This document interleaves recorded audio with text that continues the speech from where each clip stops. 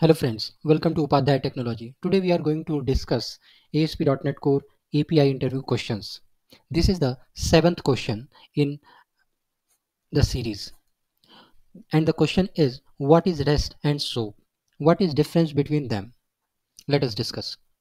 So, REST is representational state transfer and SOAP is simple object access protocol are both communication protocols used in web services, but they have some key differences.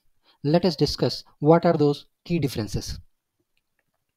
First of all, let us know what is REST. So, REST is an architectural style. So, it is we can easily understand that it is an architectural style that relies on a stateless communication between the client and server.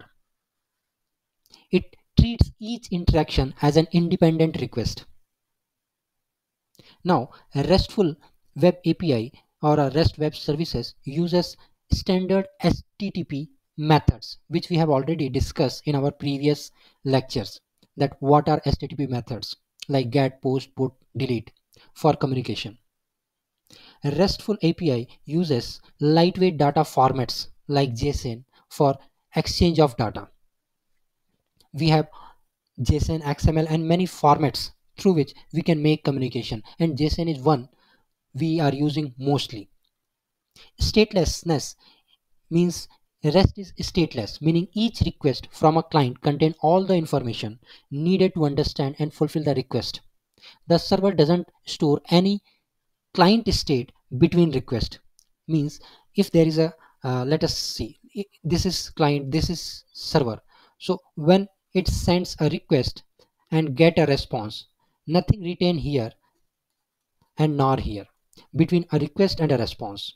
When it says sends a request and get a response, it will get whole bunch of new information.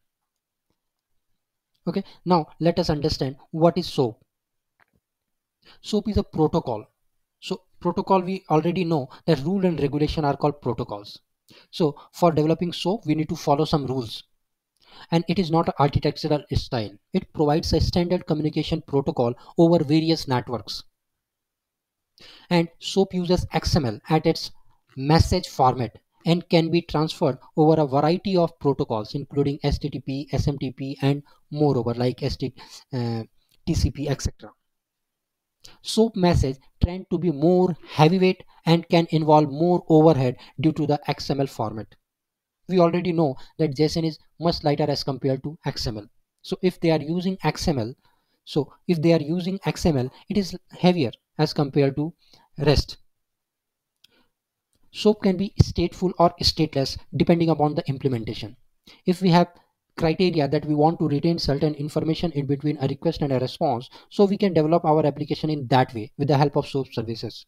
And if we want statelessness that means uh, we don't want anything should be retained in between a request and a response so we can develop it in that sense. So there is a feasibility.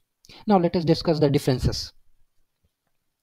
Rest is often preferred for its simplicity and the use of standard http methods whereas SOAP being a protocol can be more complex and may require additional configuration.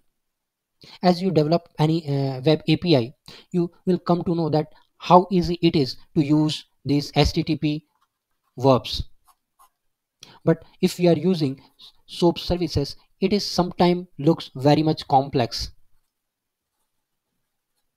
when we develop a big application. REST commonly uses lightweight JSON as we have already discussed. It uses JSON. But, but on the other hand, SOAP uses XML, which is heavier. REST is stateless design.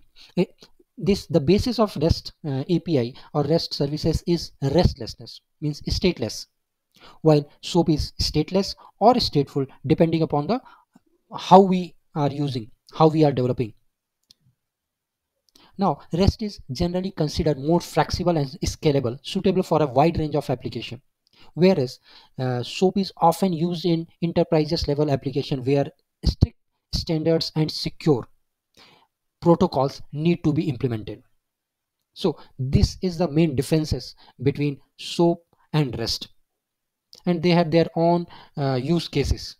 so depending upon our use cases we can use either rest or soap.